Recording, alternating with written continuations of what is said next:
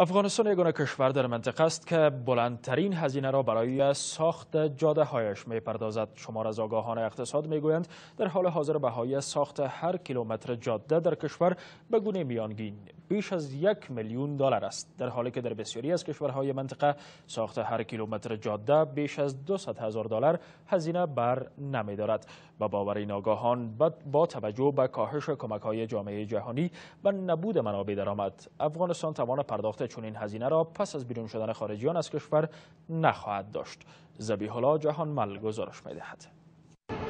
نبود یک راهبرد لازم ساختمانی و سهم نداشتن حکومت در بخش ساختمانسازی و ساخت جاده ها از علت های اند که به گفته شمار از آگاهان اقتصاد سبب شدند که بهای ساخت جاده ها در کشور به تناسب کشورهای منطقه تا پنج برابر باشد 40 هزار دلار به قیمت 850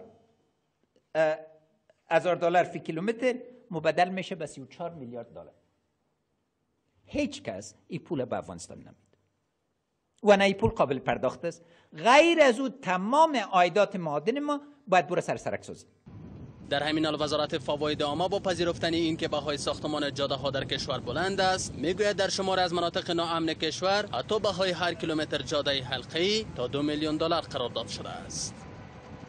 مراحل تدارکاتی یا انتخاب شرکت ها یا پولی که از طریق خود از اونها مستقیم داده شد یعنی باعث از شد که مشکلاتی در قسمت به وجود بیان.